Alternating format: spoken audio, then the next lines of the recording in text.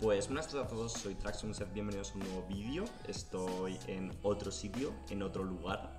Eh, básicamente pues me ausento durante unos días de donde vivo habitualmente, durante unas semanas incluso. Y la buena noticia es que pese a que parece que Paradox está tomando un descanso con varios juegos, pues como Stellaris, como Hearthstone 4, como Reporter Series 4, etcétera, etcétera, que volverán en septiembre o en agosto incluso, pues con Crusader Kings 3 no, lo cual tiene su lógica porque aparentemente pues el juego pues ya sabéis que va a ser lanzado en el 1 de septiembre, entonces sería un poco raro que dos meses antes dejasen de sacar información al respecto, ¿vale? Entonces como digo, estoy en una nueva setup, por así decirlo, estoy con un portátil, ¿vale? No estoy con mi ordenador habitual, entonces por ejemplo no voy a poder streamear o un poco pues todas las cosas relativas al canal, a nivel de calidad de los vídeos, otro tipo de cosas, va a ser un poco difícil que estén al nivel de lo que es habitualmente, pero bueno, voy a intentar al menos pues los vídeos importantes como este de, de Crusader Kings 3, que es uno de los diarios de desarrollo, ya lo sabéis. Y pues como otros vídeos pues que tengan más que ver con cosas importantes, han salido por ejemplo una encuesta de, de Stellaris, que yo creo que puede ser interesante echarle un vistazo. Pero bueno, eso ya lo veremos en otro vídeo si acaso, ¿vale? En fin, ¿qué es lo que nos tratan hoy? ¿Qué es lo que nos enseñan hoy en el diario de desarrollo? Eh, vale, pues muy sencillo, es algo que vimos en cierta manera ya en, algunos, en algunas previews y tal, y es que ya sabéis que el tema de los contratos, el tema de la gestión de vasallos, lo han reworkeado, ¿vale? Antes de que se lance definitivamente el juego, pues han rehecho toda esa parte de los, de los contratos y del sistema de gestión de vasallos, y ahora lo vamos a ver eh, cómo es ahora, cómo va a salir al mercado, por así decirlo. Yo creo que es bastante chulo y creo que va a dar bastante, bastante juego. bueno, ahora lo veréis, a ver qué opináis vosotros, pero bueno. Eh, un poco de lo que de la simplicidad que vimos al principio, ¿vale? Esta es la nueva pantalla, básicamente de gestión de, vasallos. Está bastante chula visualmente, eh, parece que es como un, papel que firman dos reyes y tal, que yo creo que eso está eh, curiosete. Pero luego a todo esto se le junta que hay muchísimas más opciones de las que había antes, ¿vale? Antes básicamente tú tenías eh, pues las, eh, los impuestos feudales y, las, y el reclutamiento de levas, tenías tres opciones con cada uno, ¿vale? Si era muy severo, si era bajo, si era normal. Y ya está. Y ahora como veis pues tiene bastante, bastante más profundidad eh, en cuanto a opciones y cositas que hay para hacer. Incluso hay tres tipos de vasallos, que esto ya lo conocíamos más o menos, pero bueno, los vamos a ir viendo poco a poco, ¿vale? En fin, dice que básicamente eh, cualquier vasallo que esté por encima del nivel del tier de varón, es decir, que sean conde, duque o rey, si somos emperador, pero bueno, en general conde o duque, y efectivamente que no sean república ni eh, un modelo teocrático, ¿vale? O bueno, pueden ser república o modelo teocrático, lo que quiero decir que los vasallos feudales van a tener acceso a algunas interacciones extra, ¿vale? Bueno, pues básicamente todos los, que todos los vasallos que tengamos que no sean varones, lo cual engloba pues todo lo que hemos mencionado, pues tienen un contrato, ¿vale? Tenemos un contrato con ellos que va a especificar, pues efectivamente, cuántas levas o cuántos impuestos recaudamos de ellos, ¿vale? De todos modos, los baseos feudales, es decir, que sean condes o duques normalmente, ¿vale?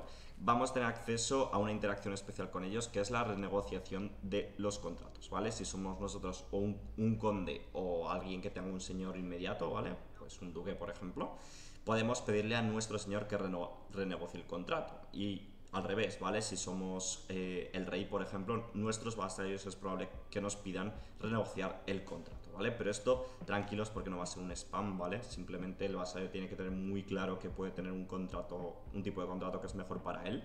Y normalmente, pues, por ejemplo, si te piden pagar, eh, te piden, oye, quiero renegociar el contrato porque quiero pagarte menos dinero. Normalmente, si te ofrecen eso, van a ofrecerte también el darte más tropas a cambio. Es decir, se quedan ellos con más dinero, pero te van a dar más tropas. Es decir, que no te van a simplemente pedir contratos que sean absolutamente mejores para ellos, sino que van a hacer algo así, por así decirlo, más justo, van a hacer un intercambio que sea un poco favorable para ambas partes, ¿no? Es un poco la idea de los contratos. Dicen que no están del todo contentos con, cómo están implementados originalmente, ya que no animaba mucho a, contar historias ni a crear una especie de drama entre el vasallo y su señor, así que básicamente entre eso y que leyeron un poco los comentarios de, la gente en el diario Desarrollo 17, dicen que fue, pues decidieron reworkearlo, ¿vale? Así que han estado trabajando bastante en él. Bueno, como veis, aquí está el nuevo, eh, el nuevo contrato, que ya lo hemos estado viendo un poquito.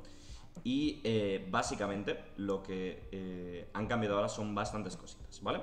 Ahora podemos ver que hay bastantes más opciones a la hora de recaudar impuestos y tropas. Básicamente hay cinco opciones, ya no hay, hay solo, ya no hay solo tres. De hecho, podemos llegar básicamente a poner un reclutamiento masivo de levas, a extorsionar o básicamente a no recaudar absolutamente nada, incluso a no recaudar nada de tropas ni de dinero.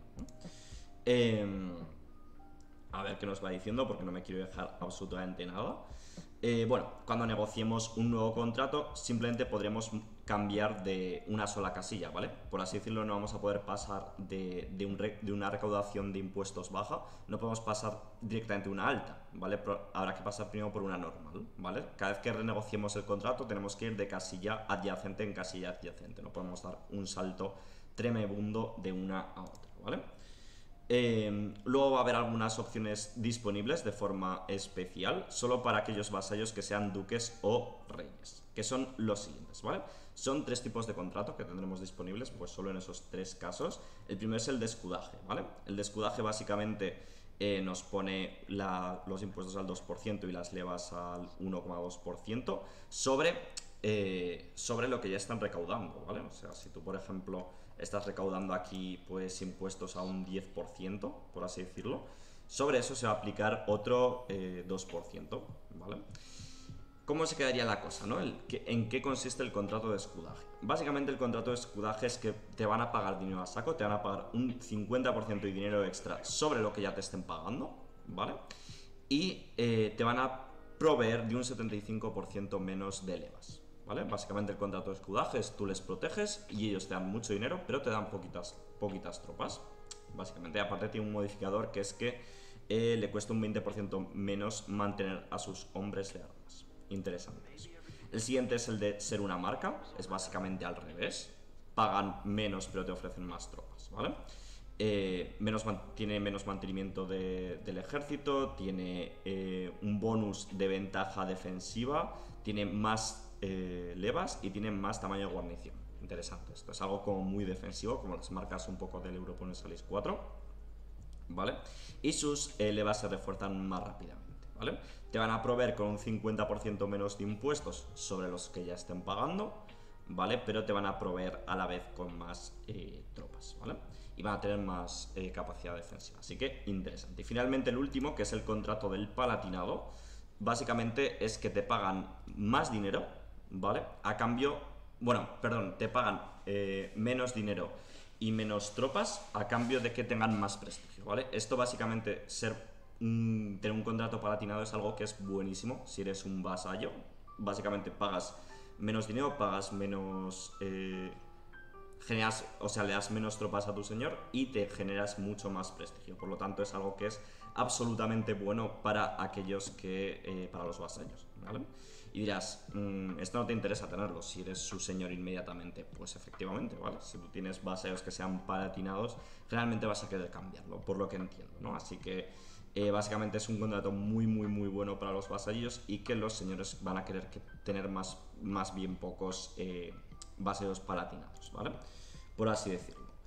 Eh, luego al final del todo, Aquí tenemos una especie de eh, contratos especiales o de derechos especiales que pueden tener los vasallos. Por ejemplo, pueden tener lo que han llamado una protección religiosa, que por ejemplo imaginaros que, bueno, no sale aquí abajo, pero imaginaos que hay otro que está disponible si eres de una religión distinta a tu señor. Y tienes aquí el contrato especial de una protección religiosa. Básicamente, si tienes ese contrato de protección religiosa, eh, es, significa que tú eres de una religión distinta a la de tu Señor y tu Señor no te puede eh, forzar la conversión, ¿vale? Por así decirlo, te respeta y no te puede convertir los condados con sus, eh, con sus consejeros, ¿vale? Como derechos especiales que pueden tener, como derechos de, sucesión, capacidad de declarar guerras, capacidad de acuñar moneda, Que, que eso le dará más generación de impuestos, derechos en el consejo y esto básicamente habilita un montón de opciones disponibles a la hora de cambiar los contratos, ¿vale? A la hora de negociar. Por ejemplo, tú normalmente cuando negocias la ampliación o el cambio de un contrato, lo que vas a obtener inmediatamente es tiranía, ¿vale? Porque tú lo que estás haciendo es decirle a un, a un vasallo, mira, por mis narices, que te voy a cobrar más impuestos, como en este caso, ¿vale? Imaginad que estaban los impuestos en bajos y tú ahora por la cara se los quieres poner en normal, ¿vale?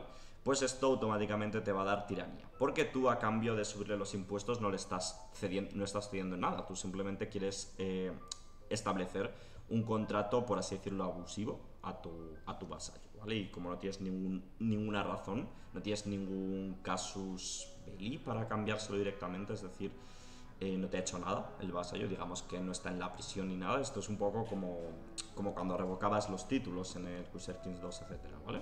Si le quieres cambiar el contrato a algo más abusivo por la cara, ¿vale? Sin ninguna razón, sin ninguna justificación, pues vas a ganar tiranía. Y en este caso, pues como veis, la opinión de los paseos caería en 20 puntos, que es algo bastante heavy, o sea que no nos va a interesar normalmente hacerlo así.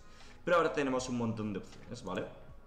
Porque lo que nos va a interesar, o lo que nos va a interesar para hacerlo de forma justa, por así decirlo, va a ser establecer o un contrato más abusivo, pero dándole algo a cambio. Es decir, establecer un contrato realmente justo. En este caso, por ejemplo, ¿vale? Le estaríamos subiendo los impuestos, como estábamos haciendo antes, básicamente le subíamos los impuestos, pero a cambio le vamos a dar derecho a estar en el consejo, ¿vale? Veis aquí que han marcado la casilla. Y en este caso ya pasa de ser un contrato abusivo a ser un contrato justo, un cambio en el contrato justo, ¿vale? Veis aquí, pues efectivamente que los impuestos van a pasar a ser normales, pero van a obtener derechos del consejo y ya no nos están dando tiranía de ningún tipo no sé, tío, me parece súper interesante, porque de antes que era prácticamente nada hacer esto. Y podemos plantearlo de un montón de formas, ¿no? Por ejemplo, yo te subo los impuestos, pero me vas a dar menos tropas, ¿no? O yo te subo los impuestos y que te concedo el, estado de palatinado que seguro que te interesa. O, o yo qué sé, eh, te bajo los impuestos, pero a cambio te voy a prohibir que puedas declarar guerras. Ese tipo de cosas, ¿no? Yo creo que es interesante, porque por ejemplo en el caso de que un baseo que sea muy poderoso, eso nos va a interesar.